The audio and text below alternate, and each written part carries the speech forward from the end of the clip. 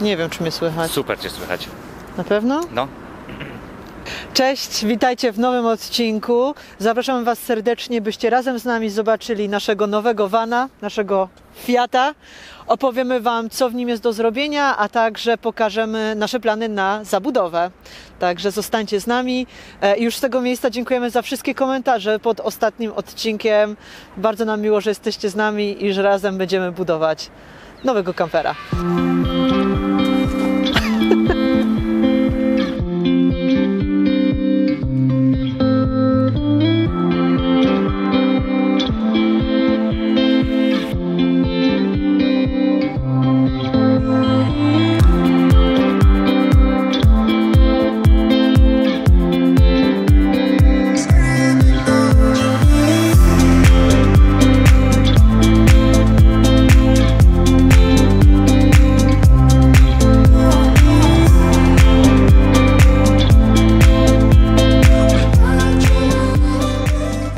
Słuchajcie, nasz samochód jest to Fiat Ducato z 2013 roku.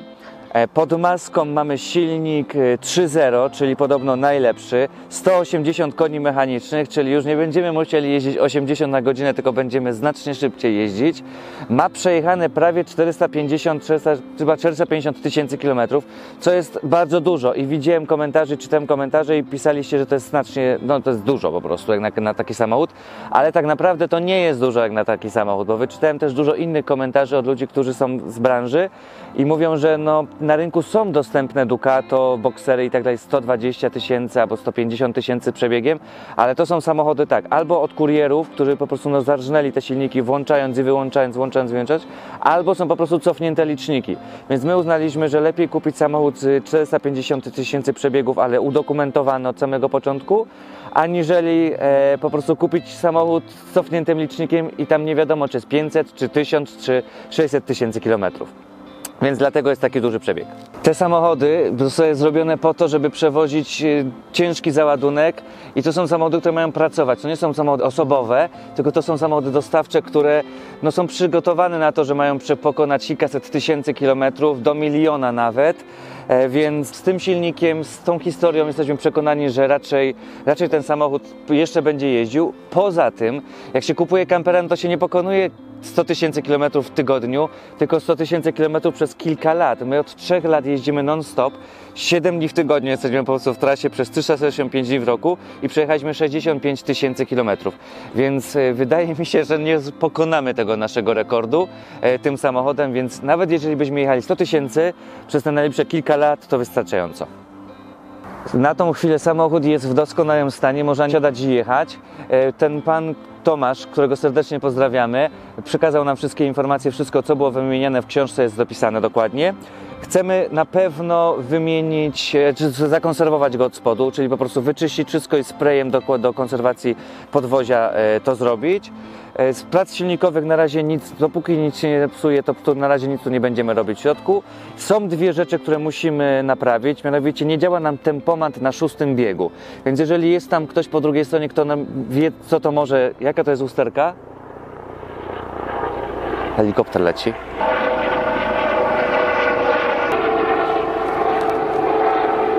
Jeżeli ktoś z Was wie, co to może być i po prostu co jest przyczyną, to nam napiszcie, bo tego jeszcze nie, nie jesteśmy w stanie na razie e, rozwiązać. Zagadka. Działał, ale teraz nie działa. Działa na wszystkich biegach, ale nie działa na szóstym biegu, a na szóstym jest najbardziej potrzebny. I jeszcze z tyłu, ale to Wam pokażę z tyłu, trzeba jedną rzecz naprawić. Słuchajcie, te drzwi niestety są wyrwane. Tutaj na górze mamy po prostu wyrwane śruby i no i albo to trzeba będzie zaspawać, albo kupić drzwi. Ktoś mi pisał, że, że są jakieś nakładki. Nie, to pan Tomasz mówił, że są jakieś nakładki, że coś to da się to naprawić, ale no drzwi są na chwilę obecną wyrwane. Więc Więc to są dwie rzeczy, które musimy wymienić w tym samochodzie. Lakier jest pierwsze malowanie, nie był drugi raz malowany na pewno, bo sprawdzaliśmy go wszędzie. Takie drobne rzeczy jak tutaj, no tutaj najczęściej w Ducato się pojawia rdza. Ja już jestem specjalistą od Ducato po przeczytaniu tysiąca komentarzy.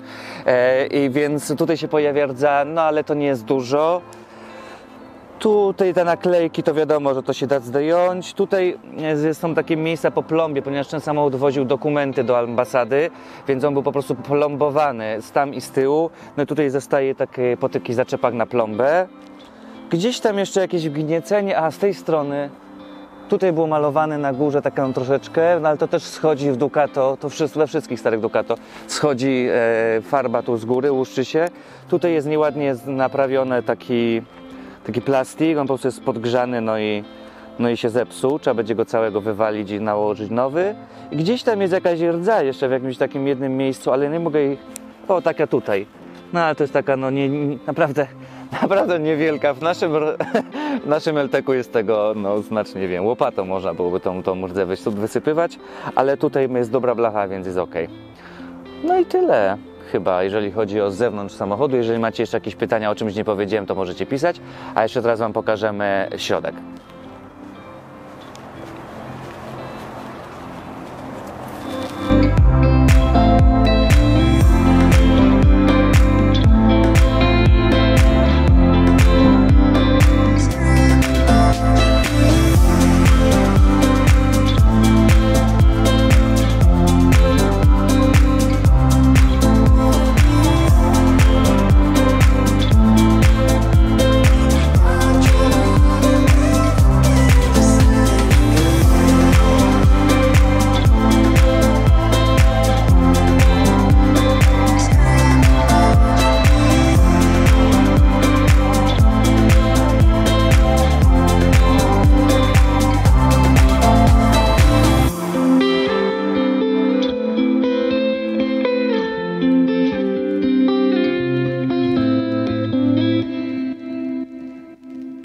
Wróciliśmy na warsztat. Jesteśmy już teraz w miejscu, gdzie będziemy budować naszego kampera i tak jak Wam obiecałem na zewnątrz, e, pokażemy Wam jak wygląda paka w środku, czyli część mieszkalna. Zapraszam Was do środka.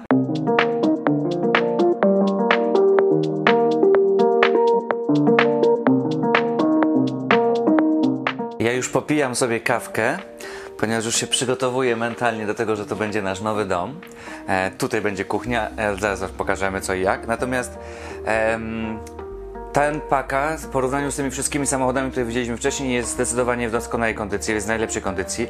Ma zachowane te plastiki i one nie są nowe, także założone na, na handel, bo czasami też takie widziałem, tylko po prostu one są używane, ale są po prostu niezniszczone.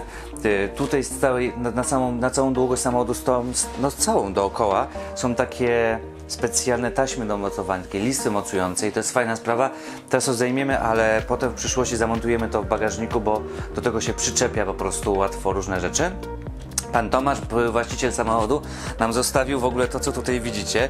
Jestem w szoku, bo dostaliśmy Dostaliśmy łopatę do śniegu, czy tak mniemam, że to jest do śniegu, ale myślę, że dwójkę też można byłoby zakopać w lesie, jak nam kibel tam przestanie działać. I dostaliśmy w ogóle, to jestem zdziwiony i chyba panu Tomaszowi to po prostu odwiozę, bo to jest jego cała skrzynka narzędziowa, tam są klucze, kombinerki, no wszystko.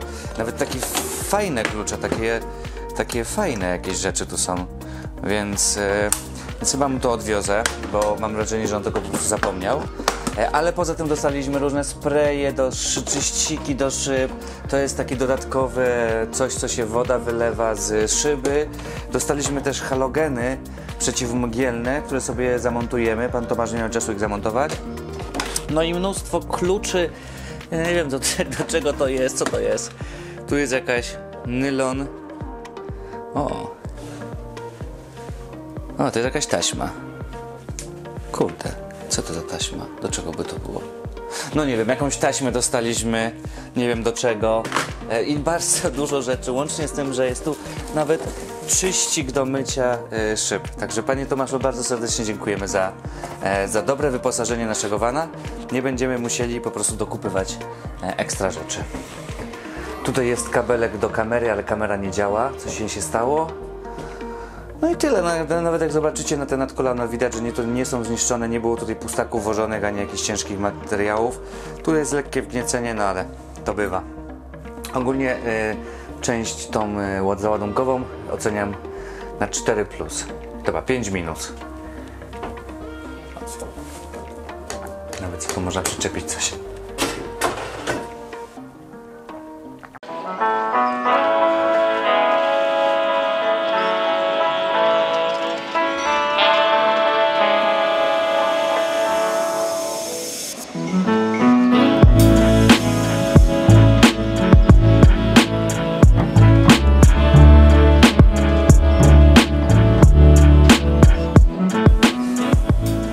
Witajcie w naszym domu.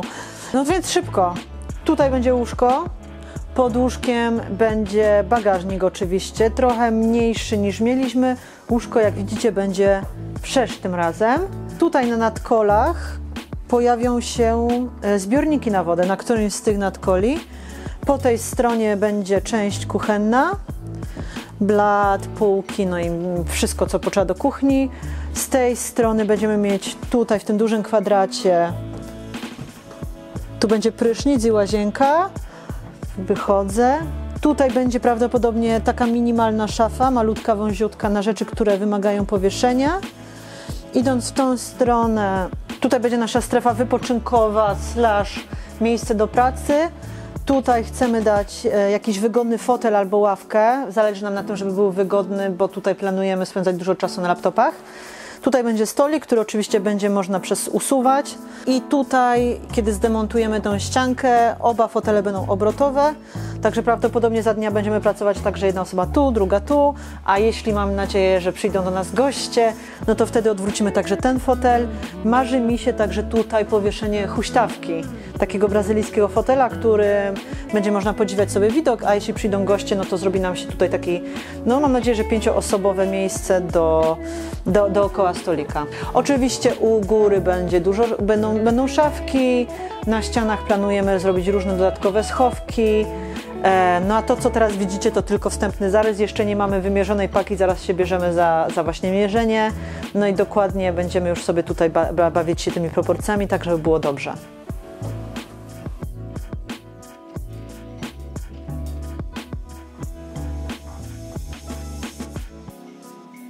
Jak widzicie, to ten układ to jest taki bardzo typowy układ, który możecie znaleźć e, w campervanach. Zdecydowaliśmy się na niego głównie z tego względu, że chcemy zachować właśnie e, duży bagażnik i mieć łóżko, które nie jest składane, a także mieć łazienkę i właśnie tą strefę wypoczynkowo-pracowniczą. Także wydaje nam się, że tutaj jest taki najlepszy kompromis. No, tracimy dosyć sporo na tej przestrzeni, co kiedyś było dla nas olbrzymim priorytetem. Natomiast no, z doświadczenia wiemy, że tutaj ta przestrzeń dochodzenia nie jest już taka konieczna. Tutaj natomiast stworzą nam się takie dwa miejsca, e, w których będzie można przebywać. Jedno miejsce to jest właśnie tutaj przy stoliku, a drugie miejsce to będzie nasza sypialnia. Mam nadzieję, że zrobimy właśnie zasłonkę, mm, jakby dzielącą nas od tej sypialni, także tam będzie powstawał taki mini pokoik, jeśli któryś z nas będzie chciało dłużej pospać, albo nawet sobie pobyć samemu, to będzie można się właśnie zasunąć i spędzać sobie czas w tej sypialni. Tym wnętrzem zainspirował nas głównie Michał. Michał, czyli e, Michał Climbs, któremu robiliśmy Ventura. On także właśnie ma na Fiacie e, swojego campervana, no i to jest jego trzeci campervan e, i właśnie takie teraz wnętrze zastosował. Jest to wynik jego e, lat doświadczeń jako vanlifer. No i wspólnie z Łukaszem stwierdziliśmy, że, że teraz pójdziemy właśnie w taką zabudowę, ale zresztą to nie tylko u Michała, bo i u Tomka i Oli była podobna zabudowa, i u Kasi i Grześka, także czerpiemy z doświadczeń naszych przyjaciół. Mam nadzieję, że Wam się podobała prezentacja naszego nowego vana i będziecie śledzić naszą przebudowę. Potrwa to kilka tygodni co najmniej, bo no wiemy, że po prostu jak to wszystko z dostawami, ze wszystkim jest, planuje się i rysuje na podłodze bardzo szybko, natomiast czas wykonania zdecydowanie dłuższy, ale na spokojnie przed latem wyjedziemy, także, także to się na pewno uda. Mamy dla Was jeszcze taką dzisiaj ciekawostkę na zakończenie tego vloga. Otóż właśnie się dowiedzieliśmy, czy w zasadzie wczoraj się dowiedzieliśmy, że nasza księga, księga Kasi, Księga podróży. księga podróży została przekazana do drukarni i rozpoczął się proces drukowania. Jest to bardzo z, z, no, trudny proces, ponieważ się składa z wielu elementów, tam różne kolory, naklejki, cuda na kiju tam po prostu są, więc to po prostu potrwa miesiąc. E, I 9 kwietnia chcemy Was zaprosić na uroczystą premierę. Będzie ona miała miejsce na live, oczywiście, tak jak zawsze mamy premiery naszych książek na live, więc zaplanujcie sobie czas na 9 kwietnia. Jeżeli chcielibyście otrzymać powiadomienie o tym live, to pod spodem jest link, na którym wystarczy podać adres mailowy i wtedy Wam wyślemy przypominajkę. Także zapraszamy Was bardzo serdecznie. Dziękujemy za dzisiejszy odcinek. Chyba już tyle. Tak. Zostawcie nam łapkę w górze. Koniecznie każdy niech przyciśniecie łapkę w górę, jeżeli Wam się podobał ten film. No i widzimy się w następnym odcinku serii budowy nowego kampera za kilka dni. A jeśli znacie jakieś fajne zabudowy, jakieś macie fajne pomysły, inspiracje, którymi chcecie się z nami podzielić, to napiszcie nam też komentarz. Trzymajcie się. Pajo.